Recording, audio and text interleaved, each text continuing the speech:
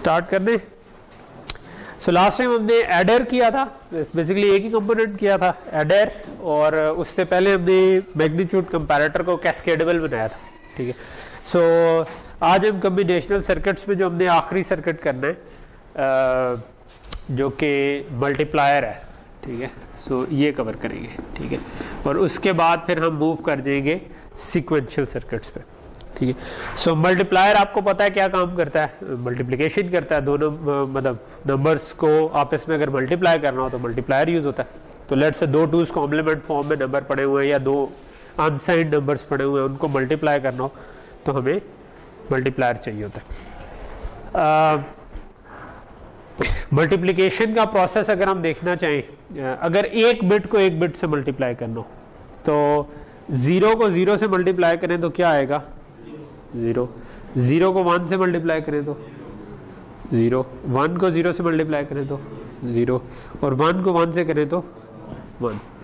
सो so, क्या circuit बनेगा इसका? एक एंड गेट से दो बिट्स को मल्टीप्लाई किया जा सकता है आपस में। ठीक है? सो ये तो होगी सिंगल अगर एक एक बिट की मल्टीप्लिकेशन व्हाट अबाउट कि मैंने दो बिट्स को मल्टीप्लाई करना है? मे बी मैं एक एग्जांपल ले लेता हूँ कि इन दोनों को मल्टीप्लाई करना है। तो हम कैसे करते थे? वन को पहले मल्टीप्लाई करेंगे ज़ीरो आ जाएगा। वन को वन से करेंगे वन आ जाएगा। सो so,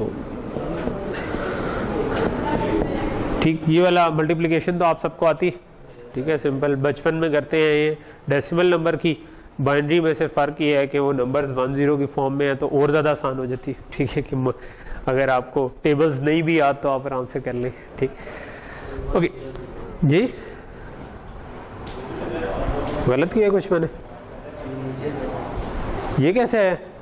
ये ज़ीरो डायरेक्ट आ गया वन को ज़ीरो में ऐड किया वन आ गया। हाँ ऐड ठीक। तो उसी इसी तरह ठीक। ओके सो बेसिकली ये थ्री है, ये टू है थ्री को टू से मल्टीप्लाई किया सिक्स आ गया हमारे पास हाँ? ठीक। अच्छा तो अगर इसको मैं जरा जनरल फॉर्म में लिखूं तो मेरे पास अगर ए वन ए ज़ीरो और let's the B one B zero और ए वन ए ज़ीरो है। अब मैं वन या ज़ीरो ज्यूम नहीं कर रहा कि कोई भी वैल्यू हो सकती है।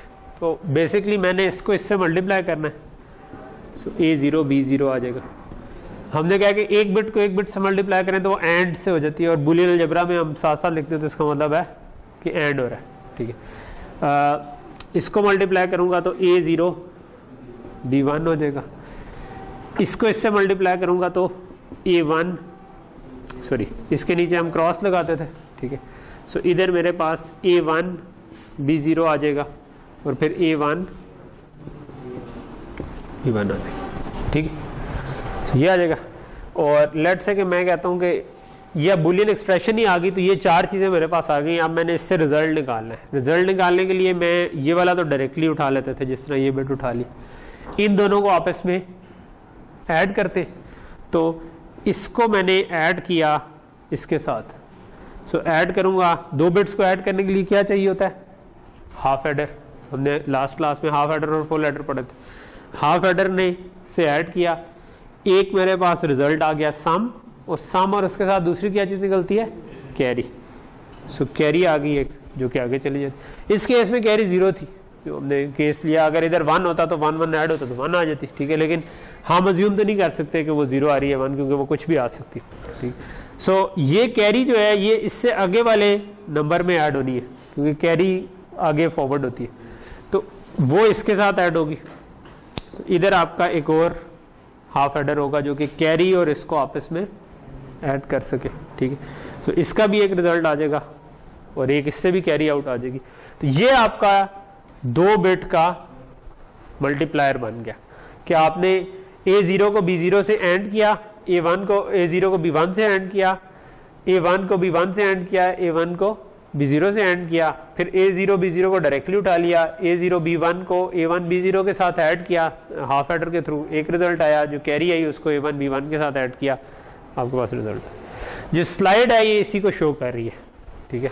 तो ये वही जो स्टेप मैंने बोर्ड के ऊपर किया हुआ है तो ये आपके पास A zero B zero A zero B one A one B zero A one B one और अगर सर्किट में मैं देखूँ तो वहाँ पर मैंने एंड गेट नहीं शो किए हुए थे तो ए ज़ीरो को बी ज़ीरो और बी वन दोनों के साथ एंड किया तो मेरे पास ये A zero B zero A one B one बन जाएगी। ए वन को बी ज़ीरो और बी वन दोनों के साथ एंड किया तो मेरे पास ए वन बी ज़ीरो और ए वन बी वन बन जाएगी। ये डायरेक्टली आ गया, इसको इसके साथ हाफ़ एडर से ऐड किया, सम आया कैरी इसके साथ ऐड की, सम और कैरी आ गया, ये मेरे पास रिज़ल्ट तो ये मेरे पास दो बिट को दो बिट के साथ मल्टीप्लाई करने का। एक बिट को एक बिट से करना हो तो एंड गेट दो बिट्स का नंबर हो जो दो बिट्स के साथ मल्टीप्लाई होना है तो फिर ये वाला सर्किट चलेगा।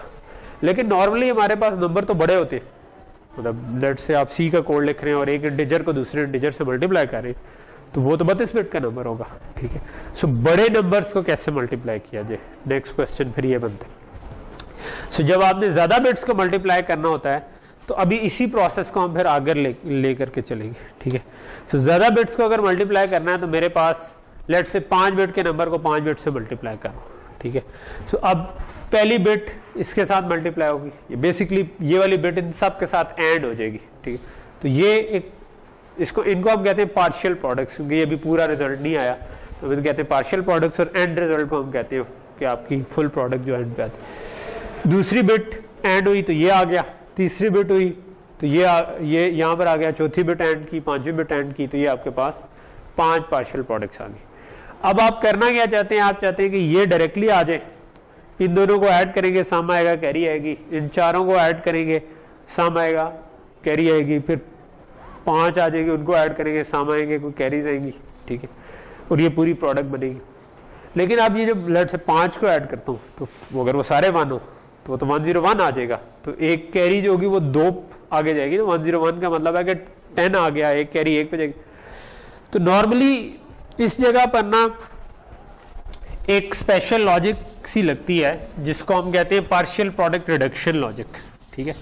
वो क्या कर रही होती है, वो जिस तरह मैं यहाँ पर ये पार्शियल प्रोडक्ट्स बना देता हूँ। ये पूरा टॉपिक हम नहीं कवर करेंगे बिकॉज़ ये एक और कोर्स होता है डिजिटल सिस्टम डिज़ाइन जिसके अंदर ये डिटेल से डिस्कस होते हैं कि मल्टीप्लायर आर्किटेक्चर्स और एडर के आर्किटेक्चर ज़्यादा डिटेल से डिस्कस होते हैं। तो हम इसको थोड़ा सा कवर करेंगे, मैं आपको बता दूँगा। बाकी अगर कोई किसी को इंटरेस्ट है तो वो जाके फर्दर देख सकता है। नेट पे थोड़ा सा सर्च करेंगे तो आपको कोई पाँच दस मिनट की कोई वीडियो मिल जाएगी जो कि असूली तौर पर समझा देगी कि ये क्या हो रहा है। ठीक है, मैं आपको इसका मोटा मोटा आइडिया दे देता हूँ। ठीक है सो लेट से कि ये मैं, ये हमारी यही पाँच बिट वाली पार्शियल प्रोडक्ट्स थी। ठीक है? सो ये जो आ रही थी, ये मैंने इस जगह पर बना ली। ठीक? अच्छा ये आपके पास डायरेक्टली आ जाएगी। ठीक है? अब आप ये कर सकते हैं कि लेट से इन दोनों को सम करें, इन तीनों को सम करें। ठीक है? दो को सम करने के लिए हाफ़ एडर यूज़ होता है, तीन को सम करने के लिए फुल एडर यूज़ हो जाता है। ठीक है? इसी तरह आप इधर भी इन तीनों को सम कर दें, और लेट से कि इन तीनों को सम कर दें इन तीनों को सम कर दें, ठीक है? इन दोनों को सम कर दें। तो जब आप इनको सम करेंगे तो हर हाफ़ एडर से एक सम और एक कैरी आएगी और हर फुल एडर से भी एक सम और कैरी आएगी। तो इस हाफ़ एडर से एक तो डायरेक्ट बिट आ गई थी, इससे एक सम आया और एक कैरी आ गई, ठीक है? अगले स्टेज के लिए। इस आपने इनको ऐड किया, एक सम आया और एक अगली स्टेज के लिए कैरी आ गई। इधर ये तीन ऐड हो रहे थे, एक सम आया, एक कैरी आ गई और एक पहले से बची हुई थी। वो भी रहती है अभी ऐड करना। इसको ऐड किया, सम आया कैरी आई और दो पहले से बचे हुए थे। ठीक है? सो इसी तरह इसके अंदर भी एक पहले से बचा हुआ था।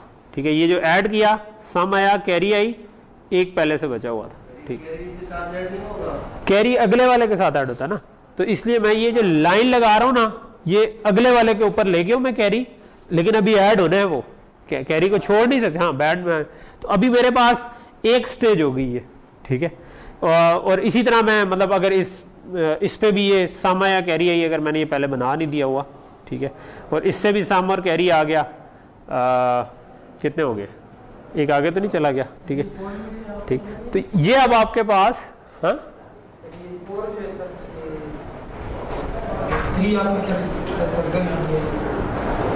तीन फुल एडर होता है ना, तीन का। ठीक है हाफ़ एडर दो का हाफ़ एडर होता है, तीन का फुल एडर होता है। ठीक है? लेकिन चार बेड वाला एडर हमने भी कोई पढ़ा नहीं तो हम उसको करते क्या है कि हम तीन तीन half adders full adders use करके ना, एक स्टेज आगे चले जाते हैं। ठीक है? तो हर हाफ़ एडर फुल एडर से क्या होता है? एक सम आता है कैरी आती है। ठीक है? कैरी अगली स्टेज पर ले जाते हैं। जो सम है वो पिछली पे रहने देते हैं। सम उसी लेवल पे आता है कैरी आगे फॉरवर्ड हो जाती है ना। तो कैरी आगे लगी। तो जिस तरह इधर मैंने ये सम इधर लिखा, कैरी अगली लाइन के साथ लिखा। फिर सम, फिर कैरी, फिर सम, फिर कैरी। हो सकता है मैंने इधर एक आध एक्स्ट्रा बना दिया लेकिन मैं इसको एग्जैक्टली exactly वो हाँ? क्या हो गया? वो साथ इधर हम लेके आए ना। इधर एक डॉट था, ये दो डॉट थे, ये वाला डॉट है, और मतलब ये वाला डॉट मैंने इधर लगा दिया हुआ।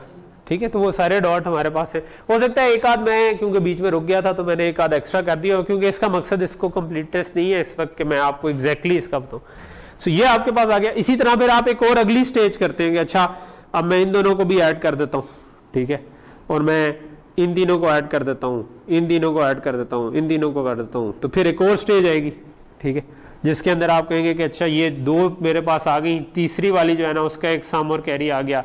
फिर उससे आगे वाले का साम और कैरी आ गया, उससे आगे वाले का आ गया एंड सो ऑन ठीक है? इस तरह दो तीन स्टेजेस ये तो अभी पाँच बिट्स थी तो ये तो हो सकता है दो तीन स्टेजेस में हो जाए। अगर मेरा बत्तीस बिट का नंबर हो तो ये ज़्यादा स्टेजेस बनेगी, ठीक है? वो जितनी स्टेजेस बनेगी, हो सकता है छह या सात स्टेजेस के बाद या आठ स्टेजेस के बाद, आपके पास इवेंचुअली ना कुछ फ्री प्रोडक्ट्स आ जाती हैं। यानी ये आप देख रहे होंगे, आप तीन जो है ना, ये तो डायरेक्ट निकल आए हैं रिज़ल्ट ठीक है? पहली तीन चार बिट इसमें निकल आई हैं। और कुछ जो आगे की बिट्स है ना, वो आखिर में ना दो लाइनें रह जाती हैं आपके पास। ठीक है? जब आप इसको पूरे प्रोसेस से गुजार देंगे ना, इस तरह बनाते बनाते तो आखिर में आपके पास दो लाइनें रह जाती है। ठीक है? तो ये जो पूरा प्रोसेस है ना कि मैं इसको हाफ़ एड्रेस फुल एड्रेस से गुजार कर दो लाइनों तक लेकर आऊँ, इसको हम कहते हैं पार्शियल प्रोडक्ट्स रिडक्शन क्या आप इसको रिड्यूस करते करते करते दो लाइनों तक ले ठीक है? इसके कुछ तरीके हैं। वो उनके नाम है मतलब वॉलेस ट्री डाडा ट्री ये नाम है, अगली स्लाइड पर भी मेंशन है, और उसके अलावा भी कुछ ट्रीज हैं, जो कि ये काम करने के तरीके ये जो मैंने अभी रिडक्शन किया है ना, इसमें थोड़े थोड़े डिफरेंस के साथ कुछ जो लोगों ने काम किया हुआ है, उनका डिफरेंट डिफरेंट नाम है। लेकिन वो इवेंचुअली कार्य यही रहे होते हैं कि पार्शियल प्रोडक्ट्स को एडअप करें। आखिरी दो जो लाइनें रह जाती हैं, इनमें कुछ तो फ्री प्रोडक्ट्स आ जाती हैं, ठीक है? बाकी जो बच जाती है ना उनको ऐड करने के लिए हमें फिर एडर लगाना पड़ता है। जो एक हमने पिछली क्लास में पढ़ा था ना पूरा रिपल कैरी एडर या कैरी सिलेक्ट एडर जिस तरह का भी एडर लगे, उनको फिर। जब उनको भी ऐड कर लेते हैं तो ये फ्री प्रोडक्ट्स प्लस ये वाली चीज़ मिलके आपके पास पूरी मल्टीप्लीकेशन का रिज़ल्ट आ जाता है। ठीक। तो ये जो जिस तरह ये वॉलेस ट्री और डाडा ट्री का मैंने नाम ले दिया, ये कोई और रिडक्शन की तरीका है। तो ये आप जाकर, अगर आप इंटरेस्टेड हैं कि एग्जैक्टली exactly कैसे होता है so you can just Google it और इसको जाके थोड़ा सा देख सकते हैं। पाँच दस मिनट में हो सकता है आपको ये पूरा समझ आ जाए। इतना कॉम्प्लेक्स नहीं है लेकिन मैं आ, सारा लॉजिक डिज़ाइन के कोर्स में इसको फिल इन नहीं करना चाह रहा नहीं तो थोड़ा सा हैवी हो जाएगी ये चीज़ ठीक है? ये वाला काम हाँ ये मतलब इनको ऐड करना था ना असल में तो इन सबको ऐड करना था ठीक है? ऐड करना था इन दो को ऐड करना था सामाना था कैरी इन सबको ऐड करना था सामाना था कैरीज आनी थी इनको ऐड करना था। हमने ये किया है हाँ? फाइव डॉट्स वाला। क्या हुआ? ये फ्री ये ये फ्री प्रोडक्ट्स नहीं है ये आपको बाद में ऐड करने। मैं हाँ? इसमें तीन डॉट एक्स्ट्रा आने थे। ये वाले? ये मैंने ये बनाए हुए ना। ये दो डॉट्स इधर थे। ये फ्री डॉट्स थे मैंने बाद में इन पे सर्कल लगाया। ये वाले दो इधर लाए। ये वाला इधर लाया हूँ, ये वाला इधर आया ये वाला इधर आया ये ऊपर आया ठीक है? तो जो फ्री डॉट्स मैंने छोड़े, आप मतलब ऑब्वियसली आप इधर भी हाफ़ हेडर लगा सकते थे। मतलब मैंने नहीं लगाया अभी, लेकिन मतलब आप खुद बना रहे हो तो आप बेशक लगा दे, ठीक है? तो उससे यहाँ पर एक डॉट आ जाएगा, एक कैरी आगे आ जाएगी, ठीक है? सो एंड पे आपके पास ना जब आप ऐसी मल्टीपल स्टेजेस से गुजर जाएँगे तो आप क्या कर सकते हैं कि ऐसे बहुत सारे पैरेलल में फुल एड्रेस लगाते और हाफ़ एड्रेस लगाते उनसे गुजरने के बाद आपके पास साम्स और कैरीज जो आ जाती है, वो खुद फिर इस फॉर्म में आ जाती है। उनको भी आप दोबारा फुल एडर और हाफ़ एडर से गुजारते हैं। ठीक है कि मतलब तीन तीन के ग्रुप बना के आप फुल एड्रेस बना लेंगे, जहाँ पर दो के बन रहे हैं, वहाँ पर दो का बना लेंगे। ठीक है? और उससे फिर आपके पास अगली स्टेज आ जाती है। तो जब ज़्यादा बड़ा नंबर होता है ना, जब बत्तीस बिट का है या सोलह बिट का है तो ये ज़्यादा स्टेजेस लगती है। ठीक है? तो मे बी सिक्सटीन बिट में हो तो आपको हो सकता है कि छह या सात स्टेजेस लग जाए। स्टेजेस का मतलब है कि ये मेरी पहली स्टेज है, जिसने हाफ़ एडर फुल एडर बनाया। तो अभी जो अगली चीज़ आ गई वो ये इस पर दोबारा हाफ़ एडर फुल एडर लगाया तो अगली चीज़ आ गई ये। ये करते करते हो सकता है कि अगर 16 बिट तो आपको छह या सात स्टेजेस लगे, जिसके बाद आप पहुँचे कि अब आखिरी दो रह गई हैं लाइनें बस, ठीक है? जब दो लाइनें रह जाएँगी ना एंड पे तो वहाँ पर फिर हम एक पूरा जो हमने एडर बनाया था ना पहले हाफ़ एडर फुल एडर नहीं, वो रिपल कैरी एडर या जो दो नंबर्स को ऐड करने वाला एडर होता है। वो पूरा एडर लगा के हाँ जी जी multiplier is a complex component ऐसे ही है। मल्टीप्लायर जो है वो एडर की निस्बत कॉम्प्लेक्स कंपोनेंट है। अगर हम देखें तो इसके तीन मेजर पार्ट बन रहे एक बन रही है पार्शियल प्रोडक्ट जनरेटर ठीक है? पार्शियल प्रोडक्ट जनरेटर क्या है? वो कि ये खुद कैसे जनरेट हुई थी? ये सारी एंड गेट से जनरेट हुई थी। ठीक है? क्योंकि एक बिट को एक बिट से मल्टीप्लाई कर रहे थे तो ये आ रहा था ना। यानी कि अगर पाँच बिट थी, ये पाँच लेट से पाँच बिट थी तो इसको इसके साथ मल्टीप्लाई किया, एक आ गया। इसको इसके साथ किया, दूसरा आ गया। तो ये जो था, ये एंड गेट्स थे, ठीक है? सो इस बिट को पकड़ा, सबके साथ एंड कर दिया आपने, ठीक है? तो ये आपके पास पार्शियल प्रोडक्ट जनरेशन वाली लॉजिक बन गई, ठीक है? फिर दूसरी बिट को पकड़ा। तो ये सब के सब जो जनरेट है, ये एक एंड एक एक एंड गेट से एक एक चीज़, एक एक डॉट जनरेट हुआ हुआ है, ठीक है? फिर अगला काम क्या हुआ कि इन सबको हाफ़ एडर फुल एडर से एक स्टेज आगे लेके गए। स्टिल आपके पास बहुत से डॉट्स रह गए। फिर लेकिन पहले से कम हो गए फिर इसको अगली स्टेज पर लेके गए, और कम हो गए ये तीन चार स्टेजेस बनेगी डिपेंडिंग ऑन के कितने बेड का नंबर है। एंड पे आपके पास एक पूरा दो रोज रह जाएँगी, जिसके अंदर कुछ फ्री प्रोडक्ट्स होंगी, कुछ फिर दो रोज बन जाएगी, ठीक है? वो जो दो रोज बन गई है उनको ऐड करने के लिए फिर आप पूरा एडर लगाएँगे। जो रिपल कैरी एडर होगा या कंडीशनल सिलेक्ट वो कैरी सिलेक्ट एडर होगा जो हमने लास्ट टाइम पढ़े थे। डिपेंडिंग ऑन कि आपको स्पीड चाहिए या एरिया चाहिए, ठीक अगर स्पीड चाहिए तो कैरी सिलेक्ट एडर लगा दे उधर, ठीक और वो ऐड करके आपके पास रिज़ल्ट आएगा इवेंचुअली और कुछ फ्री प्रोडक्ट्स साथ मिला के, क्योंकि इनको ऐड करने की ज़रूरत नहीं है तो पहले ही साथ ही निकल आए ठीक तो ये पूरा फिर आपका मल्टीप्लायर बनेगा। जैसा कि आप देख रहे हैं कि multiplier is significantly complex as compare to adder ठीक है? एडर जो है, वो उतना कॉम्प्लेक्स नहीं होता जितना मल्टीप्लायर इनफैक्ट मल्टीप्लायर के अंदर ही एक एडर खुद से भी आ रहा है, ठीक है? तो ये एडर प्लस जो इसके ऊपर की लॉजिक लगी है, वो मिल के मल्टीप्लायर तो मल्टीप्लायर थोड़ा सा कॉम्प्लेक्स कंपोनेंट होता है, ठीक है? और ये भी इंटेजर मल्टीप्लायर है, ठीक है? यानी कि दो नंबर्स को मल्टीप्लाई कर है। अभी हमने अनसाइंड इसको ज्यूम किया।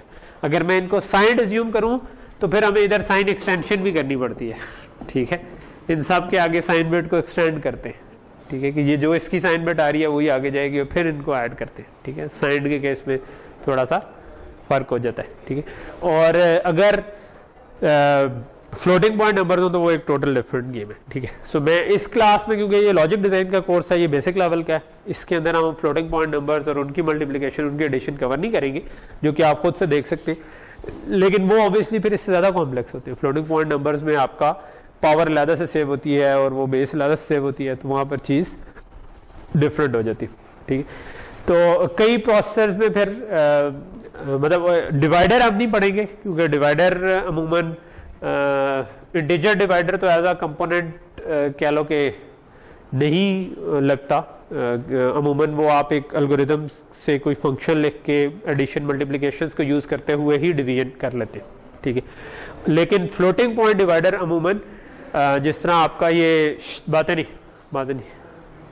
ठीक है, इधर तवज्जो रखें जिस तरह आपके लैपटॉप्स हैं या पीसीज हैं, उनके अंदर डिवाइडर लगे होते हैं, लेकिन वो फ्लोटिंग पॉइंट नंबर्स के डिवाइडर होते हैं। वो हम इस कोर्स में नहीं पढ़े होंगे। सो ये हमारा आखिरी कंपोनेंट था, ठीक है। जो कि हमने कम्बिनेशनल सर्किट्स के अंदर कवर करना था।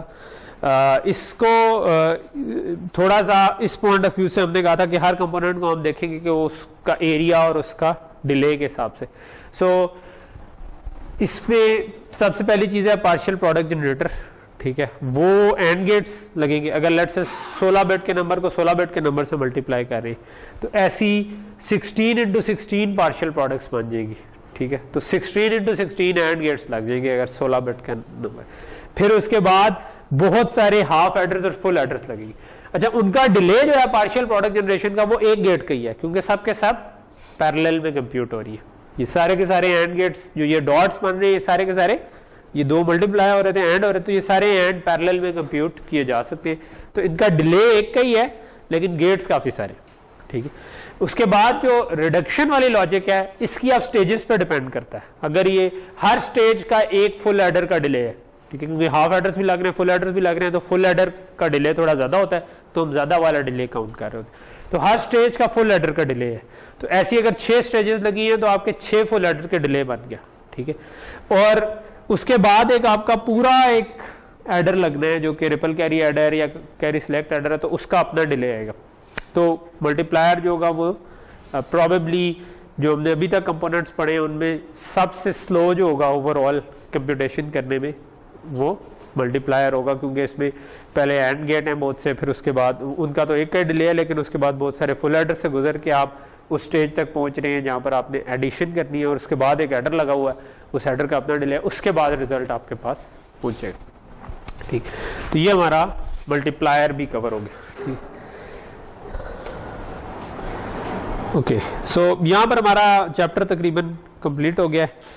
ये एक छोटा सा और टॉपिक था जो कि काइंड ऑफ़ uh, इतना ज़्यादा इम्पोर्टेंट नहीं है। इसका सिर्फ़ आपको नाम पता होना चाहिए कि ग्लिच क्या होती है या हैजर्ड क्या होता है।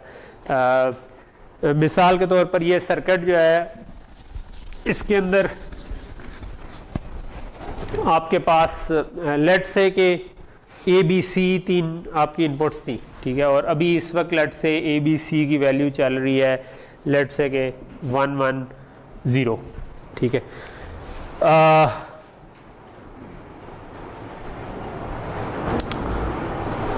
अच्छा और थोड़ी देर बाद आपने इसकी वैल्यू कर दी वन ज़ीरो वन ठीक तो अब जब वन वन ज़ीरो आ रहा है ठीक है तो इस एंड गेट की वजह से आपके पास इधर वन आएगा।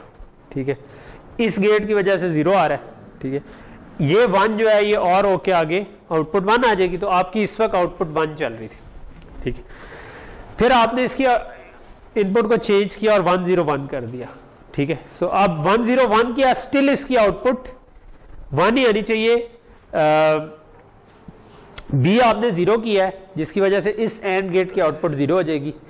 लेकिन नॉट होके बी इधर वन हो जाएगा और सी वन है, इसकी वजह से इस एंड गेट की वजह से आउटपुट वन होगी। लेकिन इस नॉट गेट का कुछ डिले है। ठीक है? थोड़ा सा डिले है। जैसे बी ज़ीरो होगा, ठीक है? तो आपके थोड़े से डिले के बाद एंड गेट की आउटपुट ज़ीरो हो जाएगी, ठीक है? इस एंड गेट की पहले ही ज़ीरो आउटपुट थी। इसकी भी ज़ीरो होगी तो एक थोड़ा सा टाइम आएगा जिसके लिए आपकी आउटपुट ज़ीरो होगी। लेकिन उसके फ़ौरन बाद जब ये इस नॉट से बी गुजर के इधर पहुंचेगा तो बी वन हो जाएगा सी भी वन होगा तो दोबारा ये वन हो जाएगा और और वन हो जाएगा। तो ये जो छोटा सा टाइम आएगा ना, जिसके लिए ये ज़ीरो हुआ जस्ट बिकॉज़ इस पा इस पाथ का डिले इस पाथ के डिले के बराबर नहीं था। इस साइड पे ये नॉट गेट एक्स्ट्रा आ रहा था ठीक है? तो इसकी वजह से जो थोड़ी देर के लिए ज़ीरो होगा ना इसको हम कहते हैं ग्लिच ठीक है? ठीक है बाज का हैजर्ड या ग्लिच कहते हैं ठीक सो so, ये आपके सर्किट में आ सकती है ठीक है? तो आपको ये जेन में रखना चाहिए। uh, इसका एक तरीका होता है कि फिर आप इसको ऑप्टिमाइज ना करें ठीक है? अगर सर्किट को हम ऑप्टिमाइज नहीं करेंगे और वो जो हमारी स्टैंडर्ड सम ऑफ़ प्रोडक्ट या प्रोडक्ट ऑफ़ सम करने की कोशिश करेंगे, उनमें चीज़ों के डिलेस तकरीबन सारे, सारों के बराबर हो जाते। तो उसमें फिर ये ग्लेच आने का कम चांस होता है। लेकिन वो, ये इतना अच्छा तरीका नहीं है। हम आगे जाकर अभी जो अगला हम टॉपिक शुरू करने लगे वो है सिक्वेंशियल सर्किट्स ठीक है? सिक्वेंशियल सर्किट्स में आप क्लॉक के ऊपर चल रहे होते हैं तो हम चीज़ों को कारी क्लॉक की बाउंड्री पे सैंपल रहे होते हैं। तो दरमियान में ग्लिचेस आ भी जाए तो हमें फ़र्क नहीं पड़ रहा होता, ठीक है? तो हम उस पर आ जाते हैं। ये मैं सिर्फ़ चाहता था कि आपको ये पता होना चाहिए कि एक ग्लिच आ सकती है सर ठीक? तो यहाँ पर हमारा कम्बिनेशनल सर्किट्स वाला टॉपिक जो है ना, वो खत्म हो गया। Let start with sequential circuits now हमने पहले शुरू में एक दो दफ़ा डिस्कस किया हुआ कि कम्बिनेशनल और सिक्वेंशियल सर्किट्स में क्या फ़र्क है। तो ये जरा मुझे कोई बताए। क्या फ़र्क है? हाँ? सिक्वेंशियल सर्किट में स्टोरेज की कैपेसिटी होती है ठीक है? सो अब हम सिंपल एक चीज़ ऐड करना चाहेंगे अपने पिछले चीज़ में। आ, वो है कि आप जो नए सर्किट है उसमें स्टोर करने की कैपेबिलिटी मौजूद है ठीक है? तो स्टोर करने की कैपेबिलिटी का मतलब है कि आप बिट्स को सेव कर सकते हैं ठीक है? और बिट्स को सेव करने के लिए हम सबसे पहले ये ऐसा सर्किट बनाने की कोशिश करेंगे जो एक बिट को सेव कर सके। और फिर जब वो कैपेबिलिटी बन जाएगी तो एक बिट से ज़्यादा बिट्स तो सिंपल रेप्लीकेशन है कि ज़्यादा वही चीज़ बार बार लगा दो ज़्यादा बिट सेव हो जाएँगी। ठीक। तो सो मेन डिफरेंस ये है कि सिक्वेंशियल सर्किट्स जो हैं वो स्टोर कर सकते हैं। ठीक। सो so, हम पहले शुरू में एक टॉपिक पढ़ेंगे जो लैचेज होगा और बाद में उसको कन्वर्ट कर देंगे फ्लिप फ्लॉप पे तो टॉपिक्स को मैं इस वक्त छोड़ रहा हूँ क्योंकि आपको उनका आइडिया भी नहीं है। तो फिर फ़ायदा भी नहीं है कि उनका मैं नाम बता दूँ कि वो क्या चीज़ें तो हम आगे चलते हैं। ठीक। जो सबसे अच्छा ये बड़ी इंपॉर्टेंट कैपेबिलिटी थी कि आप चीज़ को सेव कर सके। ठीक है it's not a small thing मतलब है सर्किट वाइज छोटी सी चीज़ होगी। ठीक है कि अब आठ दस गेट जोड़ के हम एक बिट को सेव करना शुरू कर देंगे। ठीक। लेकिन आप समझो कि इसने ना दुनिया को बदल के रख दिया ना, एक तरह से कि आप सिर्फ़ कम्बिनेशनल सर्किट हो तो वो कुछ सेव नहीं अभी तक जो हमने पढ़े एडर मल्टीप्लायर दो इनपुट दें ऐड करके रिज़ल्ट आ जाएगा जब आपको सेव करने की कैपेसिटी आ जाती है तो अब आप एक सीरीज़ ऑफ़ कंप्यूटेशन कर सकते हैं। ठीक है कि आपके पास सेम एडर है मल्टीप्लायर है, आप उसको एक दफ़ा एक इनपुट दें, दूसरी दफ़ा कोई और इनपुट दें, तीसरी दफ़ा कोई और इनपुट दें। तो एक जो आपका प्रोसेसर होता है, वो बेसिकली यही कर रहा होता है। है उसके अंदर एडर मल्टीप्लायर सब्ट्रैक्टर डिवाइडर ये चीज़ें लगी हुई है। लेकिन साथ उसमें स्टोर करने की कैपेसिटी है। ठीक है? तो वो एक सीरीज़ ऑफ़ कंप्यूटेशन आप उसके थ्रू करवा सकते हैं। और इस सीरीज़ ऑफ़ कंप्यूटेशन करवाने को हम कहते हैं प्रोग्रामिंग जिसका आपने कोर्स पढ़ा हुआ है। ठीक है? जो आप एक प्रोग्राम लिखते हैं सी में या किसी और लैंग्वेज में, वो प्रोग्राम इवेंचुअली एक असेंबली लैंग्वेज में ट्रांसलेट हो जाता है। ठीक है? और वो कहीं पे सेव हुआ हुआ पड़ा होता है बिट्स की फॉर्म में। और वो प्रोसेसर को एक एक करके कह रहा होता है कि अच्छा दोनों नंबर्स को ऐड करो इनको कंपेयर करके देखो। जहाँ पर एफल्स लगाए हुए हैं वहाँ पे कंपैरिजन हो रहा होता है। ठीक है कंपेयर करके आप कहते हैं कि नहीं यहाँ पर ना जाओ ये वाले कंप्यूटेशन कर लो इफ़ का मतलब है कि ये कर लो एल्स का मतलब है कुछ और कर लो ठीक है। सो so, मतलब इन दी एंड स्टोरेज की कैपेसिटी ने ही इस जो है ना वो ये कैपेबल हमें बनाया कि आप ये काम कर सकें कि एक सीरीज़ ऑफ़ कंप्यूटेशन कर सकें ठीक है। तो ये बड़ी अमेजिंग सी एक चीज़ कि सिंपल इतनी सी चीज़ ऐड हो जाए आपकी डायनामिक्स में तो ओवर द ईयर्स बहुत सारी इन्वेंशन उसके ऊपर हो जाती है फ्रॉम क्या लोग स्टोर करने की वजह से ही कल को फिर बाद में किसी ने प्रोसेसर बनाया होगा, उसके ऊपर लैंग्वेजेस बनी, उसके ऊपर ऑपरेटिंग सिस्टम बना, उसके ऊपर बहुत सी एप्स बन गई, और अब हम उसको, उससे फ़ायदे उठा रहे हैं। तो सबसे पहली जो कोर उसके पीछे आ जाती है ना, वो ये है कि हम एक बिट को सेव कैसे करें। ठीक है? सो आपने हो सकता है कभी खुद भी सोचा हो, अगर आप में से कोई इंटरेस्टेड हो कि यार मैं कोई नई चीज़ करूँ, कि कैसे सेव करूँ एक बिट सो अमेजिंगली ये छोटा सा सर्किट जो है ना, ये आपकी एक बिट को सेव करने की काम कर लेता है, ठीक है? अच्छा ये मैं सर्किट आपको समझा देता हूँ कि ये क्या है, ठीक दो नॉर गेट सिर्फ़ हमने लगाए ठीक है? इसको हम कहते हैं एस आर लैच ठीक है सर्किट को हम कहते हैं लैच ठीक है, इसलिए आपने आप समझो कि एक उसको होल्ड करके बैठा होता है एक वन या एक ज़ीरो को अपने अंदर सेव करने की सलाहियत रखता है। कैसे? उस पर मैं आ जाता हूँ।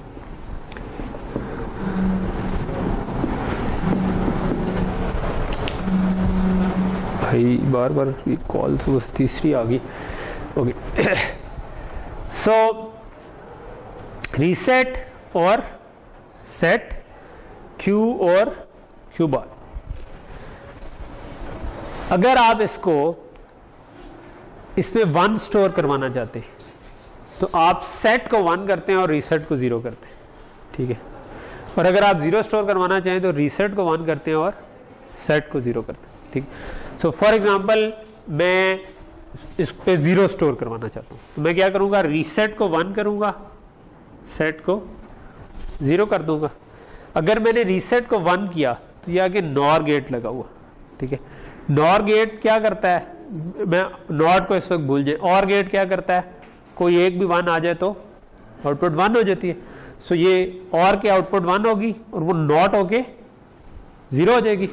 सो इस जगह पर आपके पास ज़ीरो आ गया। यही वाला ज़ीरो आपने घुमा के इस वाली गेट के इनपुट पर किया हुआ। तो ये ज़ीरो इधर पहुँच गया, ठीक है? ये ज़ीरो इधर पहुँच गया तो ये भी ज़ीरो है, ये भी ज़ीरो है, ठीक है? क्योंकि दोनों ज़ीरो हैं तो और के इनपुट में ज़ीरो आ रहा हो तो और के आउटपुट भी ज़ीरो होती है, और नॉट ओके वो वन हो जाएगी। सो इस जगह पर आपके पास वन आ जाएगा। ये वन जो है, यहाँ से फीडबैक होकर इस जगह पर आ गया, ठीक है? इस जगह पर आ गया तो अब ये ऑलरेडी इधर और की आउटपुट वन ही थी मतलब और नॉट होकर वो ज़ीरो आ रही थी तो ये इस स्टेट में आ गया। ठीक। सो मैंने अगर सेट को ज़ीरो किया और रीसेट को वन किया, यानी री मैं दोबारा समझा अगर मैंने रीसेट को वन किया तो इस वन की वजह से और की आउटपुट वन हुई नॉर की आउटपुट ज़ीरो होगी ज़ीरो इधर से इस तरफ़ आया, ठीक है? ये ऑलरेडी ज़ीरो था ज़ीरो ज़ीरो और की आउटपुट ज़ीरो ही नॉट होकर वन हो गई। ये वन वापस इस जगह पर आ गया। वन वन से ऑब्वियसली ये ऑलरेडी एक वन आ रहा था तो और की आउटपुट पहले ही वन थी और नॉट होकर ज़ीरो आ रही थी तो ये उसी स्टेट में रहा। तो अब यानी कि आपने अगर एक दफ़ा सेट रीसेट को वन किया और सेट को ज़ीरो किया तो क्यू पर ज़ीरो आ जाएगा क्यू बार पर वन आ जाएगा। क्यू बार पर अमूमन क्यू का ऑपोजिट फिर आ रहा होता है ठीक है? क्यू पे वन आ रहा होगा तो क्यू पे बाहर पे ज़ीरो आ रहा होगा क्यू उधर वन ज़ीरो आ रहा होगा तो इधर वन अच्छा अब अगर आ, ये तो रीसेट मैंने इसको कर दिया। ठीक है? लेट से मैं चाहता हूँ कि ये जो ज़ीरो है ना इसके अंदर सेव पड़ा रहे। ठीक है? सो मैं अगर दोनों को ज़ीरो ज़ीरो कर दू ना तो ये इसके अंदर सेव हुआ हुआ रहेगा। ठीक है? अगर मैंने इसको अब ज़ीरो भी कर दिया तो इस और के पहले ही इस इनपुट पे वन आ रहा है। क्योंकि इसके अंदर वन एक दफ़ा जब इधर ज़ीरो आ गया था तो इधर से वन वापस फीडबैक हो रहा था। तो ये जो ज़ीरो वन है ना ये इधर आप समझो कि एक लूप में ट्रैप हो गया। ठीक है? सो so, ये वन जो आ रहा है, इसकी वजह से और की आउटपुट वन आएगी नॉट होकर ज़ीरो ही रहेगी। ठीक है? और ये ज़ीरो इधर आएगा, इस ज़ीरो ज़ीरो की वजह से ज़ीरो और नॉट होकर वन ही रहेगा। तो ये ज़ीरो जो क्यू के ऊपर हमने रखा हुआ है ना, ये आप समझें कि परमानेंटली इसके अंदर स्टोर हो गया। ठीक है? जब तक बिजली नहीं जाती, ठीक है, या आप इसकी वैल्यू खुद चेंज नहीं करना चाहते, तब तक इसके अंदर ज़ीरो सेव हो गया। छोटा सर्किट है, लेकिन ये ज़ीरो या वन को सेव कर अभी हमने ज़ीरो सेव करवाया, लेकिन मैं यही वाला काम वन के साथ भी कर सकता हूँ, ठीक। सो यही वाला काम हम वन के साथ करने की कोशिश करते हैं। लेट से कि मैंने ज़ीरो सेव करवाया हुआ था, लेकिन मैं आप चाहता हूँ कि नहीं नहीं नहीं, इस पे ज़ीरो नहीं, मैंने वन सेव करवाना है। तो वन सेव करवाने के लिए मैं सेट को वन करूँगा और रीसेट को ज़ीरो कर दूँगा। तो अभी इसके अंदर ज़ीरो सेव था, मैंने इसको सेट की बेट वन कर दी। सेट की बेट वन कर दी तो इस वाले और गेट के इनपुट पे वन आया। वन आया तो और की आउटपुट वन होगी। और की आउटपुट वन और नॉर की ज़ीरो होगी। ठीक है? सो अगर मैं नॉट वाला भूल जाऊँ और की आउटपुट एक भी वन हुआ तो वन हो गई। नॉट होने के बाद वो ज़ीरो हो गई ये ज़ीरो इधर से घूम गए इस जगह पर आ गया। ठीक है? तो ये दोनों ज़ीरो ज़ीरो हो गए। ज़ीरो हो गए तो और की आउटपुट ज़ीरो ही और नॉर की आउटपुट वन होगी। तो यहाँ पर वन लिखा गया। ठीक है? ये वन लिखा गया तो ये वन घूम कर इधर आ गया। ठीक। सो ये वन वन की वजह से ये दोबारा यानी कि इस स्टेट पे आके स्टेबल हो जाएगा कि ये दोनों वन है। वन की वजह से इधर ज़ीरो हुआ नॉट ओके सॉरी वन हुआ नॉट ओके ज़ीरो हो गया तो ये ज़ीरो इधर लिखा गया। तो अब इसके अंदर वन सेव हो गया। ठीक है। अब अगर इसके अंदर मैंने सेट को वन किया तो अब ये इसी स्टेट पे रहेगा कि यहाँ पर ज़ीरो रहेगा, इस वन की वजह से यहाँ पर ज़ीरो रहेगा, इस ज़ीरो की वजह से यहाँ पर वन रहेगा। ठीक है तो ये इस इस स्टेट में आकर स्टेबल हो चुका ठीक। है अब मैं चाहता हूँ कि नहीं, मैं परमानेंटली पीछे से सेट की इनपुट बेशक अब मैं ज़ीरो भी कर दूँ तो इससे कोई फ़र्क नहीं पड़ेगा। क्यों? क्योंकि ऑलरेडी इस जगह पर ये इस वन की वजह से वन आ रहा है। और की आउटपुट वन हुई नॉट की आउटपुट ज़ीरो हो गई, और ये ज़ीरो आ रहा है तो इसमें आउट और की आउटपुट ज़ीरो नॉट की आउटपुट वन तो अगर मैं इसको बाद में ज़ीरो ज़ीरो भी कर दूँ तो वही वैल्यू सेव रहेगी। ठीक है। सो सो बेसिकली अगर आप सेट को वन करेंगे और रीसेट को ज़ीरो करेंगे तो ये इसमें वन सेव हो जाएगा। रीसेट को वन करेंगे सेट को ज़ीरो करेंगे तो इसमें ज़ीरो सेव हो जाएगा। दोनों को ज़ीरो रखेंगे तो जो भी वैल्यू सेव थी, अगर वो सेट किया हुआ था तो वो ज़ीरो वन सेव रहेगा रीसेट किया हुआ था तो ज़ीरो सेव रहेगा। पुरानी स्टेट इसकी जो भी थी वो बरकरार रहेगी। और वन वन जो है ना वो हम कहते हैं कि वो आ, हमारे लिए अनडिफाइंड स्टेट है वो हम इस वन वन इसको कभी इनपुट नहीं देते।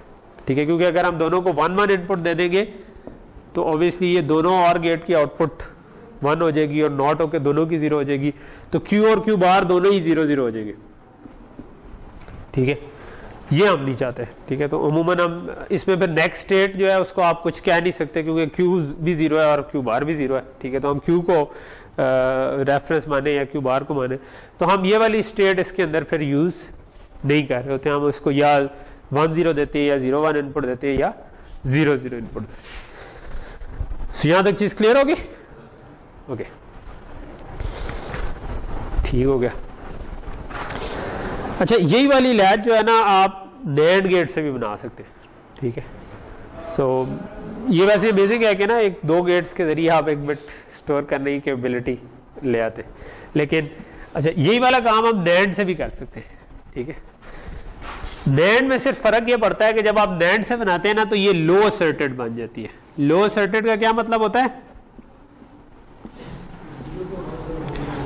लो सर्टेड का मतलब होता है कि किसी चीज़ को ऑन करने के लिए ज़ीरो करना है ऑफ़ करने के लिए वन करना है। तो अगर मैंने इसको सेट करना है, यानी वन स्टोर करवाना है तो मुझे सेट वाली बिट को ज़ीरो करना पड़ेगा। ठीक है? अगर मैंने रीसेट करवाना है तो रीसेट को ज़ीरो करना पड़ेगा। अगर रीसेट और सेट दोनों वन वन हो गए इसका मतलब मैंने कुछ नहीं करना ठीक है? और फिर इस केस में हम ज़ीरो ज़ीरो वाली स्टेट अलाउ नहीं करते ठीक है? तो हम इसको भी एक दफ़ा गो थ्रू कर लें। तो इस केस में हम सेट ऊपर लिखते हैं। अगर आप आ, पिछली दफ़ा मैंने रीसेट ऊपर था और सेट नीचे था ठीक है? सो इस केस में हम सेट ऊपर रखते हैं रीसेट नीचे ये क्यू है और ये क्यू बार है ठीक है? लेट से कि मैं इसको सेट करना चाहता हूँ। तो मुझे सेट को ज़ीरो करना पड़ेगा क्योंकि ये लोअर सर्टन मैंने आपको बताया और रीसेट को वन करना पड़ेगा। तो इसका मतलब मैं इसको सेट करना चाहता हूँ वन स्टोर करवाना चाहता हूँ क्यू पे। सो so, मैंने अगर इधर से ज़ीरो इनपुट आई तो एंड गेट की एक इनपुट भी ज़ीरो हो जाए तो दूसरी जो मर्ज़ी है उससे फ़र्क नहीं पड़ता। एंड की आउटपुट ज़ीरो हो जाती है और नैंड की आउटपुट वन हो जाएगी। ये वन इधर आ गया। ये वन फीडबैक होकर इधर आया। अब ये दोनों वन हो गए। दोनों वन है तो एंड की आउटपुट वन हुई और नैंड की आउटपुट ज़ीरो हो गई। सो ये ज़ीरो घूमकर इधर आ गया। सो ये अब एक इस टेबल स्टेट में आ गया कि इधर ज़ीरो ज़ीरो की वजह से इधर वन आ जाएगा। ये वन इधर आ रहा है। वन वन की वजह से ज़ीरो आ जाएगा, ये ज़ीरो इधर आ रहा है। तो इसके अंदर ये वन ट्रैप डेस ठीक। अगेन इसमें भी अगर मैंने कुछ नहीं करना तो मैं दोनों को वन वन कर दूँगा। जब ये स्टेट में आ गया, अब बेशक मैं इसको इन दोनों को वन वन कर दूँ। अब ये सेट हुआ हुआ है, मैंने वन कर भी दिया तो अब इधर ज़ीरो आ चुका है। इस ज़ीरो की वजह से ऑलरेडी मतलब एंड की आउटपुट ज़ीरो हो जाएगी और नॉट होकर वन हो जाएगी तो ये इसके अंदर यही वैल्यू सेव रहेगी, ठीक है? सो अगर मैंने दोनों को वन वन कर भी दिया तो अगर सेट किया हुआ था तो वो सेट ही रहेगा। क्योंकि ये लो सेटेड है, इसमें वन वन का मतलब है कि मैंने कुछ नहीं करना। कुछ करना है तो मैं उसको ज़ीरो करूँगा, ठीक है? असर्ट करूँगा, करने का मतलब है ज़ीरो करूँगा तो फिर मैं कुछ करना, करवाना, ठीक है? अच्छा इसी तरह अगर ये इस वक्त सेट स्टेट में बैठा हुआ ठीक है, और मैं इसको रीसेट करना चाहता हूँ तो लो सर्टेड है, मुझे रीसेट के सिग्नल को ज़ीरो करना पड़ेगा। अगर मैं इसको ज़ीरो करूँगा तो क्या होगा? एंड की आउटपुट ज़ीरो हो जाएगी नॉट होकर वन बन जाएगा। वन इधर से फीडबैक होकर इधर आया, ये दोनों वन वन हो गए। वन वन हुआ तो एंड की आउटपुट वन हुई नॉट होकर ज़ीरो आ गया। ये ज़ीरो घूमकर इधर आ गया। तो अब ये ज़ीरो ज़ीरो की वजह से अगेन वही वन तो ये सेम स्टेट में आ गया। ठीक है कि ज़ीरो ज़ीरो की वजह से वन आ रहा है वन वन की वजह से ज़ीरो आ रहा है तो अब ये इसी के अंदर वैल्यू सेव रहेगी ये वाली ठीक। ओके सो सो इसका मतलब है कि अगर ये सेट स्टेट में था तो मैं रीसेट को ज़ीरो कर दूँ तो ये इसके अंदर वन के बजाय ज़ीरो स्टोर हो जाएगा। ठीक है। अब अगर ये रीसेट पे और मैं कुछ नहीं करना चाह रहा, यानी रीसेट इसके अंदर सेव रखना चाह रहा हूँ तो मैं इसको अब बेशक दोबारा वन वन कर दूँ तो ये इसके अंदर वो वैल्यू सेव रहेगी। कि इस वक्त ये रीसेट हुआ हुआ है, ठीक है, यहाँ से वन इधर जा रहा है, यहाँ से ज़ीरो इधर जा रहा है। अगर मैं अब रीसेट को बेशक मैंने ज़ीरो किया था तो रीसेट हुआ था। अब मैं जब एक दफ़ा रीसेट हो गया तो मैं इसको वन भी कर दूँ तो कोई फ़र्क नहीं पड़ेगा, क्योंकि इस साइड से ज़ीरो आ रहा है। एंड की आउटपुट ज़ीरो होगी नैंड की आउटपुट वन हो जाएगी, और ये वही वैल्यू रहेगी, इससे कोई फ़र्क नहीं पड़ेगा। ठीक। इस केस में जिस तरह जो नॉर से बनाई थी, उसमें हम दोनों को वन वन नहीं करना चाहते। तो इस केस में हम दोनों को ज़ीरो ज़ीरो नहीं करना चाहते, क्योंकि अगर मैंने दोनों को ज़ीरो ज़ीरो कर दिया, ठीक है तो दोनों एंड गेट हैं। एक भी ज़ीरो हुआ तो आउटपुट ज़ीरो हो जाएगी। नॉट होके दोनों की आउटपुट वन हो जाएगी तो क्यू पे भी वन आ जाएगा, क्यू बार पे भी वन आ जाएगा तो ये हमारे लिए अनडिफाइंड स्टेट है, क्योंकि हम इसको मतलब क्यू को रेफरेंस माने या क्यू बार को माने किसको माने? सो so, इसको हम अनडिफाइंड स्टेट कहते हैं ठीक? सो इस केस में हम दोनों को ज़ीरो ज़ीरो इनपुट नहीं देते अगर आप नैंड वाली लैच इंप्लीमेंट कर रहे हो ठीक है? तो इसमें आप या जिसको ऑन करना है उस पर ज़ीरो सेट करना है तो सेट को ज़ीरो कर देते हैं रीसेट करना है तो रीसेट को ज़ीरो कर देते हैं कुछ नहीं करना तो दोनों को वन कर दोनों लैचेस ये कैपेबिलिटी रखती है कि किसी भी बिट को इनडेफिनेटली स्टोर कर सके जितनी देर के लिए भी हमें चाहिए। अगर हमने सेट किया हुआ है उसके बाद ज़ीरो ज़ीरो कर दें तो अब वो सेट ही रहेगा। ठीक है। ओके okay, so ये चीज़ समझ आ गई? ठीक है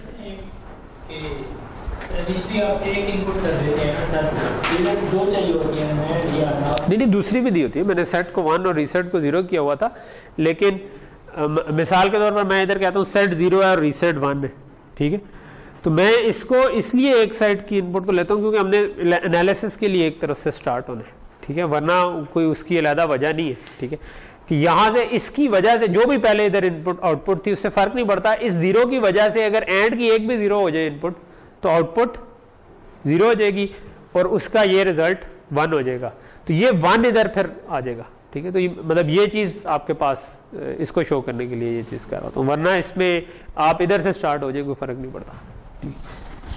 तो ये सिर्फ़ मैंने एनालिसिस के लिए एक साइड पकड़ी है और उससे दूसरी साइड पर ले गया। ठीक है? क्योंकि एंड हो या और हो और की अगर एक इनपुट वन हो जाए तो आपके लिए उस साइड से एनालिसिस करना आसान है ना, कि और की एक साइड वन हो गया तो यू नो इट कि उसकी आउटपुट वन हो जाएगी regardless of the second side ठीक है? और एंड की एक इनपुट ज़ीरो हो गई है तो यू नो इट कि इसकी आउटपुट ज़ीरो ही आएगी रिगार्डलेस ऑफ़ के दूसरी साइड पर क्या हो रहा है। दूसरी साइड पे वो फ़र्क ही नहीं पड़ता उससे। ठीक? इसलिए हमने एक साइड वो वाली पकड़ी थी जिसमें हम श्योर थे कि इससे क्या इनपुट आएगी। ओके सो ये ये लैग्स तो आपको समझ आ गई, ठीक है? तो अब एक बिट हम सेव कर सकते हैं, ठीक है? लेकिन नॉर्मली जब सिक्वेंशियल सर्किट्स की बात होती है तो हम बात कर रहे होते हैं कि आपने एक सीरीज़ ऑफ़ कंप्यूटेशन करनी है। तो सीरीज़ ऑफ़ कंप्यूटेशन जो करनी होती है ना, वो अमूमन हम उसके लिए एक रेफरेंस बना लेते हैं कि यार इस टाइम से इस टाइम तक ये होगा, इस टाइम से इस टाइम तक ये होगा। और उस रेफरेंस को हम अमूमन कहते हैं क्लॉक सिग्नल ठीक है। सो क्लॉक से मुराद वो वॉल क्लॉक नहीं है। क्लॉक से मुराद जब आप डिजिटल सर्किट्स में बात कर रहे होते हैं तो एक ऐसा सिग्नल है जो one zero one zero one zero एक पीरियोडिक इंटरवल पर हो रहा होता है। ठीक है। सो ये टाइम अगर इस तरफ़ बढ़ा है तो थोड़ी देर ये वन रहता है, थोड़ी देर ज़ीरो रहता है। थोड़ी देर वन रहता है, थोड़ी देर ज़ीरो रहता है। ठीक है। इसका जो एक ये पूरी आइट्रेशन है ना, कि एक दफ़ा वन ज़ीरो होना, यही बार बार रिपीट हो रही है। ठीक है। सो इसको हम कहते हैं एक साइकिल ठीक है क्लॉक का साइकिल जो है ना वो इतना है, ठीक है। कितने नैनो सेकेंड है, कितने माइक्रो सेकेंड है डिपेंडिंग ऑन के जिस स्पीड पे भी आपका सर्किट चल रहा है। जब आप कोई कंप्यूटर लेते हैं तो आप, उस, अक्सर होता है कि अच्छा जी, मेरा कंप्यूटर इतने गीगा पे चल रहा है, ठीक है। सो वो जो गीगा रेफर कर रहे होते हैं, वो इस क्लॉक को रेफर कर रहे होते हैं। कि प्रोसेसर जो है वो एक ऐसे क्लॉक के ऊपर चल रहा है, जिसके अगर आप कहते हो कि जी मैं 2.6 पॉइंट पे मेरा क्लॉक चल रहा है, ठीक है? सो so 2.6 गीगा का मतलब है कि एक साइकिल के अंदर 2.6 गीगा टाइम्स ये वन ज़ीरो ठीक है गीगा इज़ बिलियन ठीक है? सो ये वो वाला लॉजिक डिज़ाइन वाला गीगा नहीं है टू रेस पर थर्टी नहीं है, ये बिलियन जो आम इंसानों वाला बिलियन है, ये वो है, ठीक है?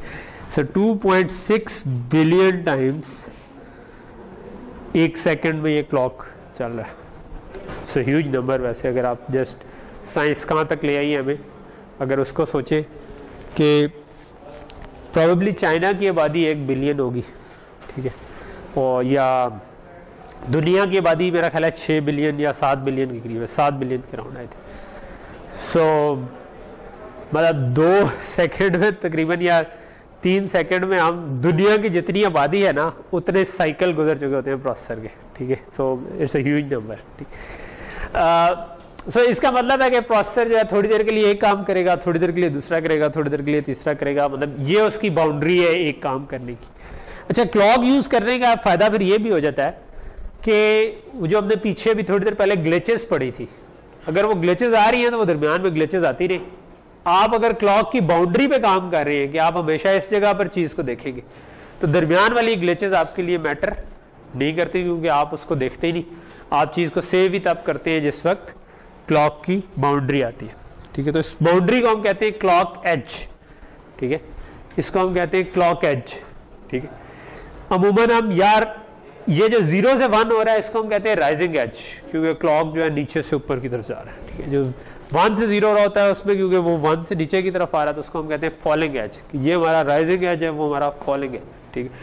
सो सर्किट जो है आप फॉलिंग एज के हिसाब से भी बना सकते हैं राइजिंग एज के हिसाब से भी बना सकते हैं, जो आपको प्रेफरेंस हो। नॉर्मली मैं जब बना रहा हूँ ज़्यादातर मैं राइजिंग एज ऑफ़ क्लॉक पे सर्किट चला रहा हूँ अपना। कभी कभार जहाँ पर ज़रूरत पड़े, वहाँ पर हम नेग एज या फॉलिंग एज भी बास का इन्हीं को हम पॉज एज और नेग एज भी कहते हैं। कि राइजिंग एज को हम पॉज कह देते हैं। और फॉलिंग एज को हम नेग एज कह देते हैं pos for positive neg for negative ठीक। सो पॉजिटिव एज और नेगेटिव एज भी हम इनको बास कह देते हैं, ठीक है। उससे वैसे कोई फ़र्क नहीं पड़ता, वो करते और बाज का आप दोनों एजेस पे भी काम करते हैं। नॉर्मली हम नहीं करेंगे अपने इस कोर्स में दोनों एजेस पे काम, लेकिन आपने सुना होगा कि डी डी आर रैम ठीक है। So D D R stand for double data rate so वो डबल डाटा रेट इसी तरह करते हैं कि वो राइजिंग एज पे भी काम कर रहे होते हैं फॉलिंग एज पे भी काम। लेकिन नॉर्मली हम जितने सर्किट पढ़ेंगे, वो हम एक ही एज पे काम कर रहे होंगे, या राइजिंग एज पे या फॉलिंग एज पे। सो so, ये क्लॉक का कॉन्सेप्ट समझ आ गया? ठीक है। अच्छा अब हम करना ये चाह रहे हैं कि वो जो भी हमने बिट स्टोर करनी है, ये बिट स्टोर तो हम कर सकते हैं, लेकिन हम चाहते ही हैं कि जो बिट स्टोर करने की कैपेबिलिटी है ना, ये इस तरह हो कि आप क्लॉक के एच के ऊपर ना, जो भी आ रही है पीछे इनपुट उसको स्टोर कर लें अपने पास। ठीक है, अगर पीछे वन आ रहा है तो आप अपने पास वन स्टोर कर लें। अगर ज़ीरो आ रहा है तो ज़ीरो स्टोर कर लें। ठीक? सो हम ये इस इधर तक पहुँचना चाह रहे अभी ये किसी क्लॉक पे नहीं चल रहा। अभी ये, जब भी आप सेट और रीसेट इसको वन करेंगे तो ये चल रहा है। लेकिन हम ये चाह रहे हैं कि ये वाला जो स्टोर करने वाला काम है, ये स्पेसिफिकली क्लॉक के एच के ऊपर हो।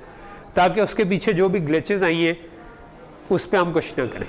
ठीक है? सो हम उन ग्लिचेस को इग्नोर कर सकें और जिस वक्त क्लॉक का एज आ रहा है उस वक्त सिर्फ़ देखेंगे क्या इनपुट आ रही है, उसको हम अपने पास स्टोर कर लें। अगर सेट किया हुआ है तो वन स्टोर कर लें रीसेट किया हुआ है तो ज़ीरो स्टोर कर लें ज़ीरो है तो इसका मतलब है इसको जाने दें इसी तरह। ठीक। तो इस काम के लिए अमूमन फिर यूज़ होती है। मतलब हम इसको स्टार्ट करेंगे क्लॉक लाइट से ये पूरा काम सही नहीं करती। इसके आगे हम फ्लिप फ्लॉप तक पहुँचेंगे जो कि ये काम हमारा सही तरीके से कर देता है। ठीक है। सो सो क्लॉक लैच क्या करती है? ठीक है, मैं इस वाली लैच के बजाय मैं जो दूसरी नॉर वाली लैच है, वो पहले बना लेता हूँ, ठीक है। तो अभी हम स्लाइड को छोड़ते हैं और ठीक है, यहाँ पर सेट था, यहाँ पर रीसेट था, और ये आपका क्यू था, और ये क्यू बार था। तो एक सीधी सी चीज़ ये हो सकती है कि मैं इसको क्लॉक के ऊपर इनेबल कर दूँ, ठीक है। इनेबल करने के लिए हम क्या क्या यूज़ कर सकते हैं? हैंड गेट तो मैं इसकी इनपुट्स के ऊपर इनेबल लगा दूँ ठीक है? मैं कहूँ कि यार ये जो रीसेट है ना ये और सेट दोनों को इनेबल मैं कर दूँ क्लॉक के ऊपर ठीक उससे क्या होगा कि सो so, अब हम करना ये चाह रहे हैं क्लॉक के ट्रांजिशन के ऊपर काम करें लेकिन हम उसका पहला ट्राई जो मार रहे हैं वो ये मार रहे हैं कि हम इसको सिंपल क्लॉक के साथ एंड कर दें। ठीक है। क्लॉक के साथ एंड करेंगे तो क्लॉक जितनी देर वन है, उतनी देर ये इनेबल्ड रहेगा। जब क्लॉक ज़ीरो होगा तो ये डिसेबल हो जाएगा। ठीक है तो ये बड़ा सिंपल सी चीज़ है। ठीक, यहाँ तक समझ आ रही है बात?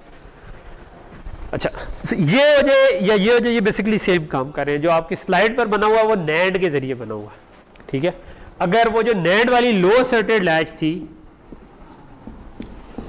ठीक है, ये लो सर्टेड लैच थी अगर इसके पीछे इसके पीछे एंड लगा दूँ या इसके पीछे नैंड लगा दूँ, ठीक है? और इसे क्लॉक से इनेबल कर दूँ, ठीक है? तो ये एक ही काम करती है, ठीक? अगर मैंने नैंड लगाया तो नैंड की वजह से ऑटोमेटिक एंड से इनेबल होता है। नैंड की वजह से ये वो लो सर्टेड से हाई सर्टेड में भी चेंज हो गया कि अगर मैं सेट को वन करूँगा, तब ये सेट होगा। और रीसेट को वन यानी सेट वन हो और क्लॉक वन हो तो ये नॉट होकर ज़ीरो हो जाएगा खुद ही। तो आगे लो सर्टेड में खुद ही कन्वर्ट हो जाएगा। ठीक है? तो अगर मैं नैंड के वाली लैच जो थी ना, उसके पीछे इनेबल के तौर पर नैंड गेट ही लगा दूँ तो ऑटोमेटिकली ये उसको जो लो सर्टेड से हाई सर्टेड वाले में जो नॉर्मल हमारी दूसरी वाली लैच थी, उसमें कन्वर्ट भी कर देगा और साथ साथ ये क्लॉक के ऊपर इनेबल भी कर देगा। तो ये वाला सर्किट और ये वाला सर्किट बेसिकली एक ही काम करते हैं कि इसमें भी क्या होगा कि सेट को वन करेंगे तो सेट हो जाएगी रिसेट को वन करेंगे तो रिसेट हो जाएगी, लेकिन तब जिस वक्त क्लॉक वन है, ठीक है? और ये भी यही काम कर रही है कि जिस वक्त क्लॉक वन है, उस वक्त सेट करेंगे तो वो सेट हो जाएगी रीसेट करेंगे तो रीसेट हो जाएगी। सो ये ये बात समझ आ रही? ठीक। अच्छा लेकिन ये इस पूरे ड्यूरेशन के लिए वन है। ठीक है? इस पूरे ड्यूरेशन के लिए ये इनेबल्ड रहेगा। उस वक्त अगर सर्किट के अंदर कोई भी ग्लिचेस या फ्लक्चुएशंस आ रही हैं वो इसके इस पे असरअंदाज हो रही होगी। हम चाहते हैं कि ये जो इसने सेव करना है ना एक बेट को वो पूरे इस पार्ट के लिए ना करे बल्कि क्लॉक के एच के लिए करे। सो so, इसकी भी मैं एग्जांपल आपको एक कराता हूँ ठीक है? तो उससे आपको ये चीज़ ज़्यादा अच्छी समझ आ जाएगी है? तो ये ये समझ आ गई है कि ये क्या काम कर रही है। मैं अब ये यूज़ करूँगा ये एक एस आर क्लॉक लैच है यानी कि जिसमें क्लॉक के साथ हमने इनेबल किया हुआ बाकी और कोई फ़र्क नहीं है ठीक?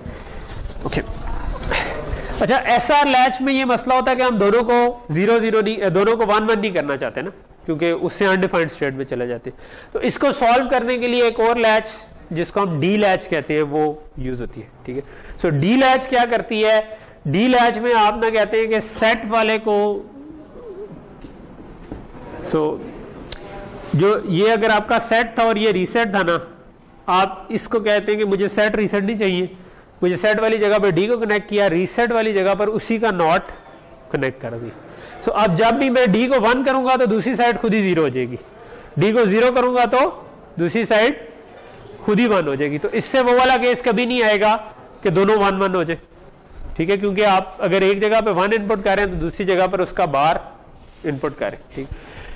लेकिन फिर इसका मतलब है कि दोनों पर ज़ीरो ज़ीरो भी कभी नहीं आएगा क्योंकि आप इस पर ज़ीरो इनपुट करेंगे तो दूसरा वन हो जाएगा। तो डी लैब जो है ना वो बेसिकली इन इट अगर मैं बनाऊँ तो कोई खास काम नहीं कर रही वो सिर्फ़ ये काम कर रही है कि अगर वन नहीं आया तो आउटपुट पे वन आ जाएगा ज़ीरो दिया तो आउटपुट पे ज़ीरो आ जाएगा। तो इसको हम ट्रांसपेरेंट लैच भी कहते हैं क्योंकि जो इनपुट पे आ रहा है वही आउटपुट पर आना शुरू हो जाता है ठीक है? लेकिन होगा ये कि जितनी देर क्लॉक वन है उतनी देर जो भी इनपुट पे आ रहा है वो आउटपुट पे आ जाएगा ठीक है? और जब क्लॉक ज़ीरो हो गया तो ये लैच डिसेबल हो जाएगी ठीक? सो so, यहाँ तक चीज़ समझ आ गई? ठीक। जी? क्लॉक को चेंज करने से क्या मराद है? क्लॉक तो जस्ट एन इनेबल का काम कर रहा है इसमें क्लॉक वन होगा तो ये इनेबल हो जाएगी ज़ीरो होगा तो डिसेबल हो जाएगी तो क्लॉक ज़ीरो होगा तो वो डिसेबल हो जाएगी ठीक। अच्छा सो so, ये आपका हो गया डी लैच जो कि जिसको अगर हम देखें तो ये ट्रांसपेरेंट है यानी कि जिस वक्त इनेबल आ, आ रहा है ना उस वक्त जो इनपुट आ रही है वही आउटपुट पे आना शुरू होगी। और उसके बाहर पे उसका नॉट आना शुरू हो गया। तो ये ये बिल्कुल यही वाला जो पैटर्न आ रहा है यही पैटर्न इस जगह पर आ रहा है जितनी देर ये क्लॉक इनेबल रहा ठीक है? जब क्लॉक डिसेबल हुआ तो ये डिसेबल होगी ठीक? अच्छा ये ट्रांसपेरेंसी की वजह से कुछ मसले आते हैं ठीक है? वो मसले आ, अभी हम डिस्कस करते ठीक है?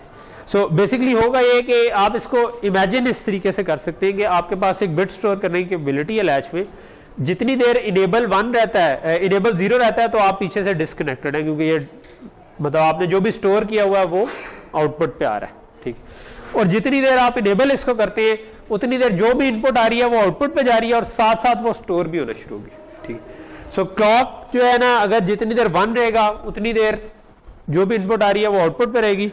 जैसे ही क्लॉक वन से ज़ीरो होगा तो उस वक्त जो भी इनपुट थी, वो सेव हो गई और पीछे से डिस्कनेक्ट हो गया और वो जितनी देर क्लॉक ज़ीरो रहेगा, इतनी देर अब वो वाली वैल्यू इसके अंदर सेव हुई हुई रहेगी, ठीक है? सो आधे साइकिल के लिए तो हम ठीक चलना शुरू हो गए कि आधे साइकिल के लिए आप वैल्यू सेव कर लेते हैं। लेकिन बाकी आधे साइकिल के लिए आप ट्रांसपेरेंट है, ठीक है? तो इसको भी हमने हल करना है, ठीक है?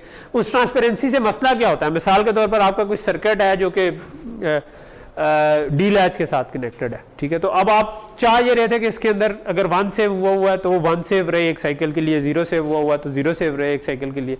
लेकिन इसके बजाय होता क्या है? होता यह है कि लेट से कि ये नॉट का काम कर रहा है। ठीक है? जो सर्किट है।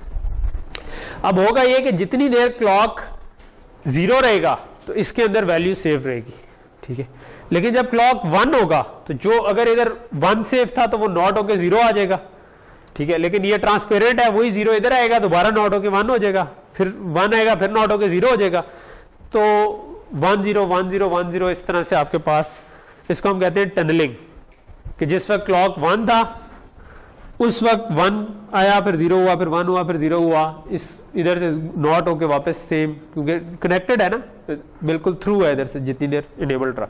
जितनी देर ज़ीरो रहा, उतनी देर जो भी आखिरी वैल्यू थी, उसको इसने सेव करके रख दिया। फिर जितनी देर वन रहा, उसने तो ये चीज़ हम नहीं चाहते। ये जो, ये अनस्टेबल बिहेवियर है कि आप one zero one zero one zero fluctuate करें तो हम इसको भी खत्म करना चाहते हैं। हम चाहते हैं कि बजाय ये आधे साइकिल के लिए इनेबल रहे, हम चाहते हैं कि ये सिर्फ़ एच के ऊपर चीज़ को पकड़े। क्लॉक का जिस वक्त राइजिंग एज आ रहा हो या फॉलिंग एज आ रहा हो, उस वक्त जो भी इनपुट आ रही है, उसको सेव करके रख ले और फिर अगले राइजिंग एज या फॉलिंग एज तक इंतज़ार करें। ठीक है। तो इसको अवॉइड करने के लिए फिर हम क्या करते हैं, हम दो लैचेस लगा लेते हैं, ठीक है? सो दो लैचेस लगाने से क्या होगा? एक को हम इनेबल कर देते हैं क्लॉक पर और एक को हम कर देते हैं नॉट ऑफ़ क्लॉक पर, ठीक है? सो इससे क्या फ़र्क पड़ेगा? इससे जब फ़र्स्ट हाफ़ चल रहा है क्लॉक का, ठीक है? तो पहली वाली लैच इनेबल्ड है, लेकिन आगे वाली डिसेबल्ड है, ठीक है? सो अब अगर जो भी इनपुट आ रही है, वो यहाँ पर तो पहुँच रही है, लेकिन आगे वाली डिस्कनेक्टेड है। क्योंकि आगे वाली डिसेबल्ड है, वो तो नॉट ऑफ़ अगर क्लॉक वन आ रहा था तो ये तो ज़ीरो हो गया, और ये डिसेबल होगी। जैसे ये ट्रांजिशन हुई यहाँ से, ठीक है, अब अगली वाली इनेबल होगी है, लेकिन अब पिछली वाली डिसेबल होगी। पीछे वाली डिसेबल हो गई है तो जो भी इनपुट आ रही थी वो आउटपुट पर चली गई, लेकिन पीछे से डिसेबल होगी तो अब वो जो नॉट होके बार बार टनलिंग हो रही थी वो रुक गई, क्योंकि पीछे वाला आप डिसेबल हो गया। क्लॉक ज़ीरो हो गया, ये डिसेबल हो गया, लेकिन ये इनेबल हो गया, ठीक है। सो जैसे ही इसका मतलब है कि आपका ये फॉलोइंग जा रहा है, उस वक्त जो भी इनपुट आपकी पीछे से आ रही थी, वो आउटपुट पर चली गई और अगले फॉलिंग एज तक ये वाली इनपुट इसके अंदर सेव रहेगी। क्योंकि अब ये दोबारा तब इनेबल होगा, जिस वक्त दोबारा ज़ीरो से वन होगा तो ये इनेबल हो जाएगा, लेकिन ये डिसेबल रहेगा और दोबारा वन से ज़ीरो होगा तो ये दोबारा इनेबल तो अब वो जो एज आ रहा है ना, ये उसके ऊपर काम कर रहा है। ठीक है कि जो फॉलिंग एज हमारे पास बन रहा है, उस वक्त आपके पास जो भी इनपुट आ रही थी, वो इस फ्लिप फ्लॉप से इस लैच से उस पर ट्रांसफ़र होगी। लेकिन जब ये फॉलिंग एच से आगे गया तो ये डिसेबल हो गया, ठीक है? और ये इनेबल हो गया, ठीक है? अब इतने आपके लिए चलता रहेगा, लेकिन पीछे से कोई इनपुट चेंज नहीं होगी, क्योंकि ये ऑलरेडी डिसेबल्ड है। ये डिसेबल्ड है तो पीछे से कोई इनपुट चेंज भी नहीं होगी। और अगले हाफ़ के लिए ये इनेबल हो जाएगा, लेकिन ये डिसेबल हो जाएगा। तो ये, इसका मतलब है यहाँ से अगले एच तक आपके पास सेम जो भी आपने चीज़ आउटपुट पे रखी थी, वो स्टेबल रहेगी, कोई टनलिंग ऑकर नहीं होगी।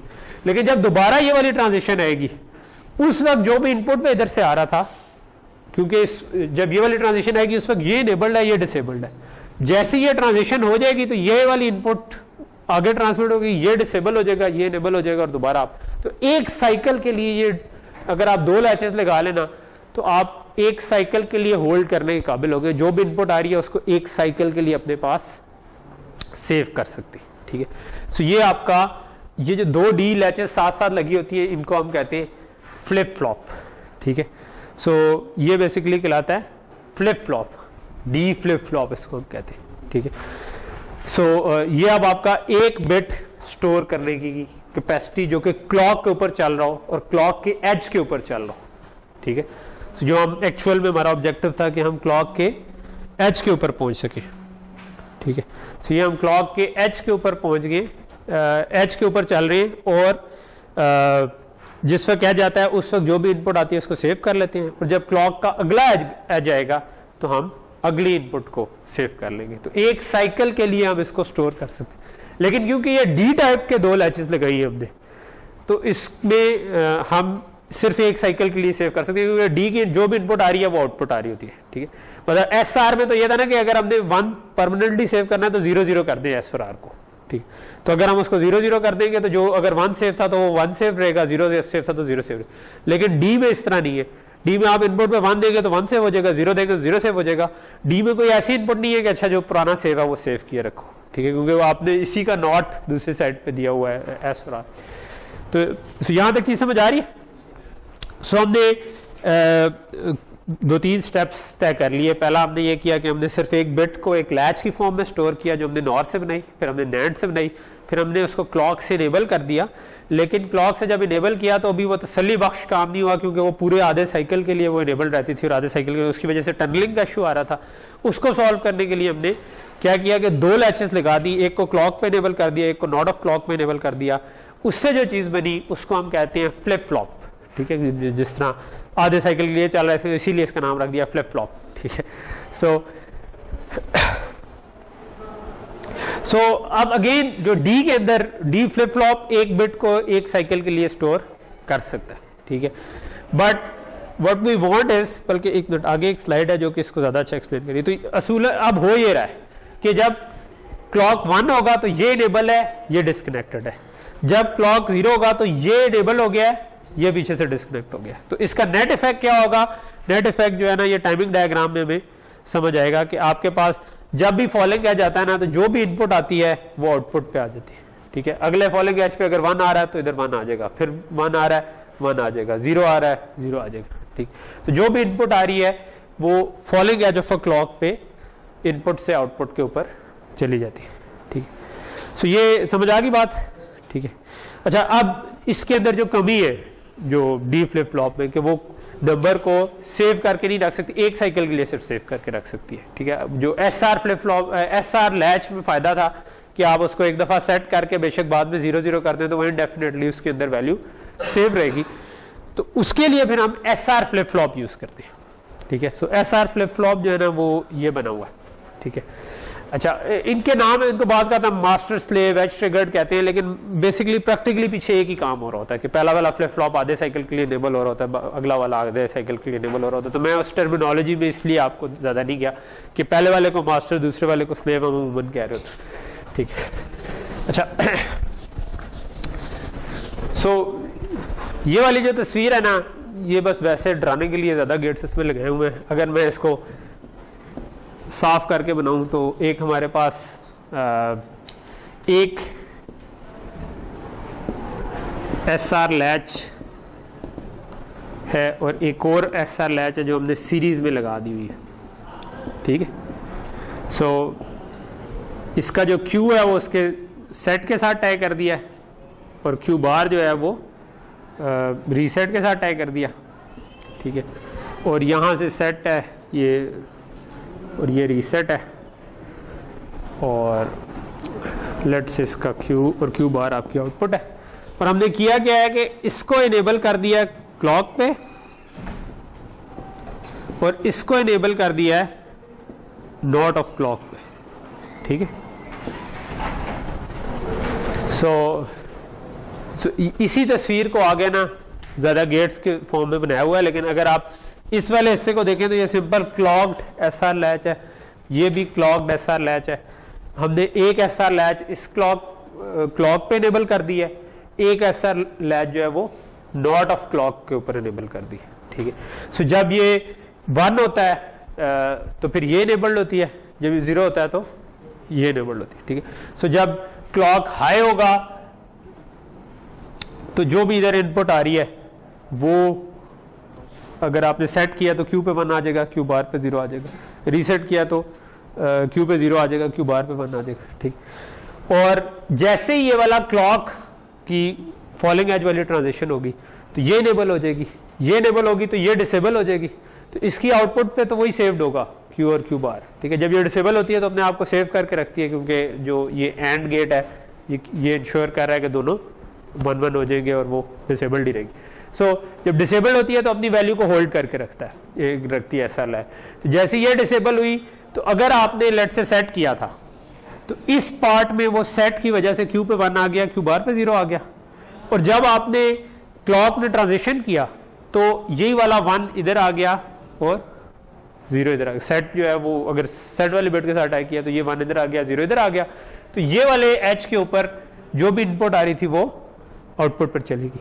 क्योंकि इस वक्त ये डिसेबल हो गया तो पीछे से इनपुट चेंज अब नहीं हो सकती। पीछे से इनपुट चेंज नहीं हो सकती तो इस टाइम के अंदर आप जो भी इनपुट है, वो वही रहेगी। ठीक है? जब इस टाइम से आगे जाएँगे तो ये इनेबल हो जाएगा, लेकिन ये डिसेबल हो जाएगा। तो ये फिर भी वही रहेगा। तो ये पूरे साइकिल के लिए बेसिकली आपके पास सेम वैल्यू आउटपुट पे रहेगी। ठीक है? तो आपने एक दफ़ा सेट कर दिया तो सेट होगी। रीसेट कर दिया तो रीसेट होगी। और अगर आपने कुछ नहीं करना तो अब ऐसा लैच में ये चीज़ है कि मैं दोनों को ज़ीरो ज़ीरो कर दूँ। ठीक है? दोनों को ज़ीरो ज़ीरो कर दूँगा तो अगर ये सेट थी तो ये सेट ही रहेगा। अगर रीसेट था तो रीसेट ही रहेगा। इसी तरह इससे अगले वाला भी यही करेगा। तो आपके पास आ, उस एज पे कोई चेंज नहीं आएगी बल्कि यही वाली बिट इसके अंदर सेव होके बैठी रहेगी। सो ये बड़ी अमेजिंग चीज़ होगी कि अब हमारे पास ये एबिलिटी आ गई कि हम एक क्लॉक के ऊपर क्लॉक के इस वक्त जो हमने बनाया हुआ है वो फॉलिंग एज के हिसाब से बनाया अगर मैं नॉट इधर लगा दूँ तो ये राइजिंग एज के हिसाब से हो जाएगा। इधर नॉट ना लगाऊँ तो।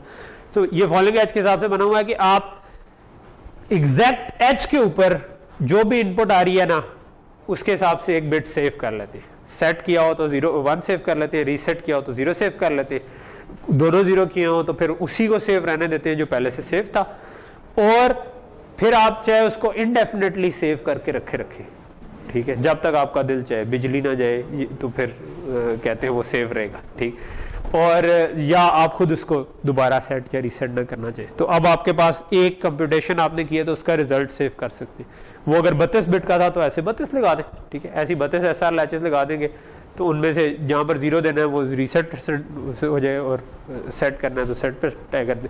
तो आपके पास बत्तीस बिट का नंबर सेव हो जाएगा, ठीक? सो यहाँ तक चीज़ समझ आ गई? ठीक। सो ये हमारी एस आर फ्लिप फ्लॉप कहलाता है। Master slave S R flip flop जो कि लेफ़्ट वाला मास्टर कहलाता है राइट वाला स्लेव कहलाता है। इस तरीके चल रहा होता मास्टर स्लेव इसलिए कहते हैं क्योंकि स्लेव फॉलोज द मास्टर ठीक है? जो इसने सेव किया है अगले साइकिल अगले हाफ़ साइकिल में वो इसको होल्ड कर लेता है। ओके सो ये तो मैंने कवर कर दिया। अच्छा अब master slave S R flip flop में डी फ्लिप फ्लॉप में ये मसला है कि वो सिर्फ़ एक साइकिल के लिए रिज़ल्ट को सेव करता है। S R flip flop indefinitely भी सेव कर सकते हैं, लेकिन इसमें क्या मसला है? एसआर में क्या मसला है? नहीं, इसमें मसला ये है कि दोनों वन वन पीछे आ जाए तो मसला है। फिर अनडिफाइंड स्टेट आ जाती अगर मैं वन वन करूँगा तो क्यू और क्यू बार दोनों ज़ीरो हो जाते हैं या वन हो जाते हैं। इस केस में वन हो जाएगी, ठीक। क्यू और क्यू बार वन हो जाएगा तो ये अनडिफाइंड स्टेट में चला जाएगा। तो इसके अंदर अब एक मसला सिर्फ़ रह गया, ठीक है कि हम जो काम अचीव करना चाह रहे थे वो हमने कर लिया कि हम एक बिट स्टोर कर सकते हैं। वो इनडेफिनेटली भी स्टोर कर सकती है। वो डी फ्लिप फ्लॉप लगा दें तो एक साइकिल के लिए भी स्टोर कर सकती है। लेकिन एक मसला रह गया कि अगर हमने उसको इनडेफिनेटली स्टोर करना है तो इसमें अनडिफाइंड स्टेट वाला मसला आ रहा है जो कि हमें बॉदर कर रहा है। ठीक है?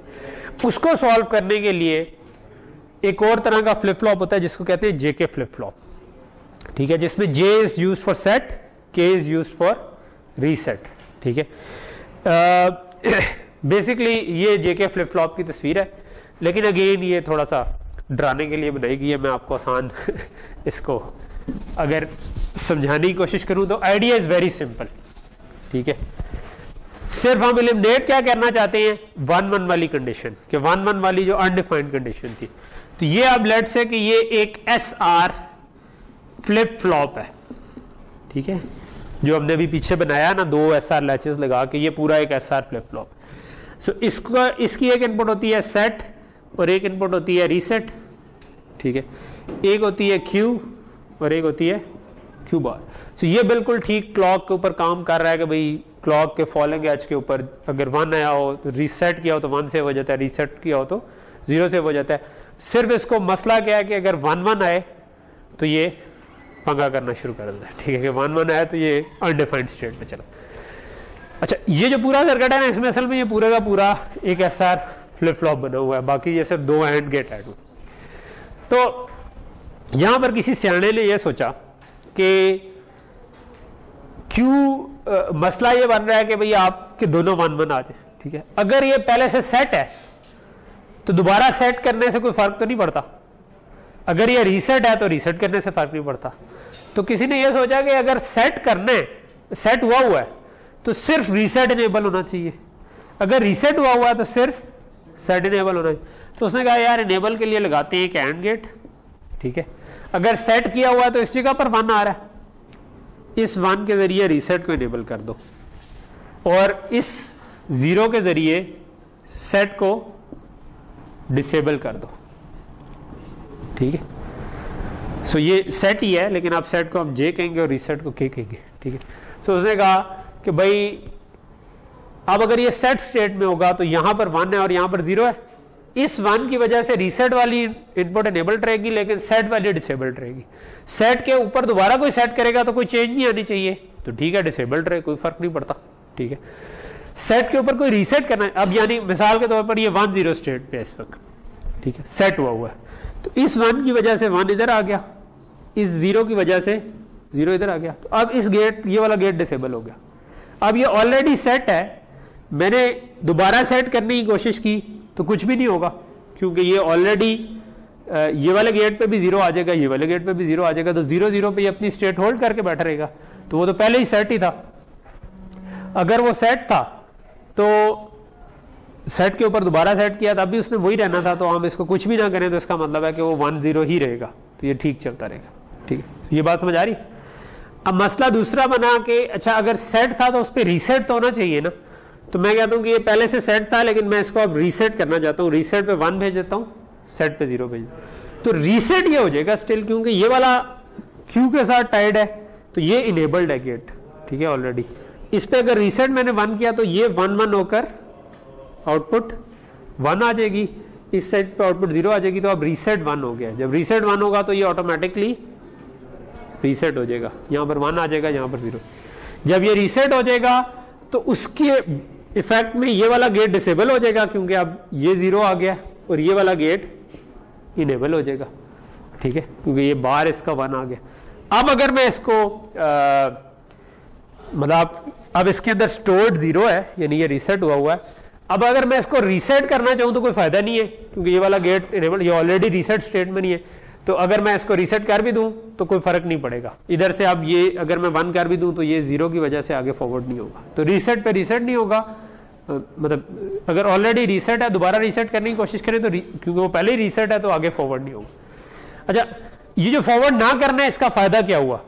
फ़ायदा इसका, जो असल में जिस वजह से हमने ये एक साइड को सिर्फ़ इनेबल करवाया वो है कि अगर वॉट इफ़ के मैं दोनों को वन वन दे दूँ जो कि पहले मेरे पास मसला आता था एस आर फ्लिप फ्लॉप अब अगर मैं दोनों इनपुट पे वन कर दूँगा तो इनका एक ही गेट एक वक्त में इनेबल्ड होगा, क्योंकि एक क्यू से कनेक्टेड है, एक क्यू बार से कनेक्टेड है, ठीक है? तो अगर ये सेट स्टेट में था तो रीसेट वाली साइड इनेबल्ड थी। अगर ये रीसेट में था तो सेट वाली साइड इनेबल्ड थी। तो इसका मतलब है, अगर मैं दोनों को वन वन भी दे दूँगा तो आगे एक ही वन फॉरवर्ड होगा, क्योंकि अगर जिस तरह मैंने भी रीसेट स्टेट में कहा हुआ तो सेट वाली साइड इनेबल्ड है। तो दोनों को वन दिया तो ये वन तो आगे फॉरवर्ड हो जाएगा, ये वन आगे फॉरवर्ड नहीं होगा। तो इवन इफ़ मैं इसको वन वन इनपुट दे भी दूँ तो एस आर फ्लिप फ्लॉप की इनपुट पे वो उनमें से वन ज़ीरो ही पहुँचता है। ठीक है? और होगा ये कि अगर ये रीसेट है तो सेट वाली इनेबल्ड थी साइड तो रीसेट है तो ये सेट हो जाएगा। सेट अगर ये सेट था तो ये रीसेट हो जाएगा क्योंकि उसकी ऑपोजिट साइड इनेबल्ड थी दोनों को वन वन करने से फिर क्या होगा कि इसकी स्टेट टॉगल हो जाएगी। अगर ये पहले सेट था तो वो रीसेट हो जाएगी रीसेट था तो वो सेट हो जाएगी। जिस तरह अभी रीसेट में था तो ये दोनों वन वन दिए तो इस वाली साइड से वन गया, ये सेट हो गया। इस जगह पर वन आ गया, इस जगह पर ज़ीरो आ गया। तो इसकी वजह से यहाँ पर आपके पास ज़ीरो आ गया, यहाँ पर वन आ गया। अब अगर ये सेट स्टेट में था और दोबारा मैंने वन वन दे दिया इनपुट पे तो क्या होगा कि आप ये वाली साइड आगे जाएगी, ये वाली साइड आगे नहीं जाएगी तो अब ये रीसेट हो जाएगा। ठीक है? और इसकी वजह से यहाँ पर वन आ जाएगा, इसकी वजह से यहाँ पर ज़ीरो ठीक तो अगर मैं इसको वन वन देना शुरू कर दूँगा तो ये कॉन्टिन्यूसली टॉगल करता रहेगा। एक साइकिल में वन आएगा, एक साइकिल में ज़ीरो आ जाएगा। क्योंकि पिछली स्टेट में ज़ीरो था, आपने रीसेट किया दोनों में वन वन दिया तो ये टॉगल होके वन बन जाएगा। अगले साइकिल में दोबारा जब जाएगा, दोबारा टॉगल होके ज़ीरो बन जाएगा। सो जेके फ्लिप फ्लॉप फिर ये काम करता है कि ये उसका ट्रुथ टेबल है जो मैंने पहले छोड़ दिया था। क्योंकि मैं आप चाह रहा था कि मेन आइडिया हम गेट कर लें। तो वो जब समझ आ जाएगी तो truth table is straightforward कि अगर दोनों ज़ीरो ज़ीरो आए तो जो भी स्टेट थी वो प्रिजर्व रहेगी। अगर वन स्टोर हुआ हुआ था तो अच्छा इधर आप देख रहे होंगे नेक्स्ट स्टेट लिखा हुआ है। नेक्स्ट स्टेट क्यों लिखा हुआ है? नेक्स्ट स्टेट इसलिए लिखा हुआ है कि अब हम क्लॉक पे चल रहे हैं। ठीक है? सो जिस तरह अभी हमने बनाए हैं, ये फॉलिंग एज वाले बनाए ठीक है? सो फॉलिंग एज का मतलब है कि इस एज पे जो इनपुट थी, उसके हिसाब से अगले साइकिल पे क्या स्टेट होगी, हम उसको कहते हैं नेक्स्ट स्टेट ठीक है? तो अगर इस वक्त, इस जगह पर हमारे पास जे और के ज़ीरो ज़ीरो आ रहे तो अगले साइकिल पे इस वक्त जो भी क्यू की वैल्यू थी, अगले साइकिल में भी क्यू की वैल्यू वही रहेगी। अगर वो सेट था तो वो सेट ही रहेगा रीसेट था तो वो रीसेट ही रहेगा। ज़ीरो ज़ीरो पे हमने देखा एस आर के ऊपर कोई चेंज नहीं आती, ठीक? अगर ज़ीरो वन कर दू, यानी कि रीसेट को वन कर दू, अगर मैंने रीसेट को वन कर दिया इस जगह पर, ठीक है? रीसेट करने की कोशिश की तो इस ट्रांजिशन के बाद क्योंकि अब हमारा सारे काम ट्रांजिशन पे हो रहे इस ट्रांजिशन के बाद इसकी वैल्यू ज़ीरो हो जाएगी जो अगले साइकिल में ज़ीरो ही रहेगी। ठीक है? सो so, इसकी अगले साइकिल में वैल्यू इसलिए हम इसको कह रहे हैं नेक्स्ट स्टेट क्योंकि क्लॉक साइकिल के बाद ये काम होना एज एज पर आकर ये काम। इसी तरह अगर मैंने सेट को वन किया रिसेट को ज़ीरो किया तो एच के बाद क्या होगा? वो सेट हो जाएगा उसकी वैल्यू वन हो जाएगी। क्योंकि हम काम ही एच पे कर रहे हैं। जब भी मैं वन करूँगा, जब अगला आ जाएगा, काम तभी होना है। उससे पहले कुछ नहीं होना, ठीक? और अगर मैं दोनों को वन वन कर दूँगा, बातें नहीं। दोनों को वन वन कर दूँगा तो अगर इस साइकिल में ये वन था तो वो अगले साइकिल में ज़ीरो हो जाएगा। अगर इस साइकिल में ज़ीरो था तो अगले साइकिल में वन हो जाएगा, ठीक? तो ये अब हमारा काइंड ऑफ़ फाइनल जो आखिरी फ्लिप फ्लॉप था, ये बन गया जेके फ्लिप फ्लॉप ठीक? ठीक है, हम इस, इधर रुक जाते हैं आज, और मे बी हमारा फ्लिप फ्लॉप तो हो गया नेक्स्ट क्लास में हम इंशाल्लाह इसको बाकी जो सीक्वेंशियल सर्किट में जब फ्लिप फ्लॉप जो हमने पहले कम्बिनेशनल पढ़े हुए कम्बिनेशनल के अंदर जब हम फ्लिप फ्लॉप इंसर्ट करेंगे तो क्या फ़र्क पड़ेगा? कैसे उसका एनालिसिस करेंगे? कैसे डिज़ाइन करेंगे? ये वाली चीज़ फिर हम नेक्स्ट क्लास में इंशाल्लाह कवर थैंक यू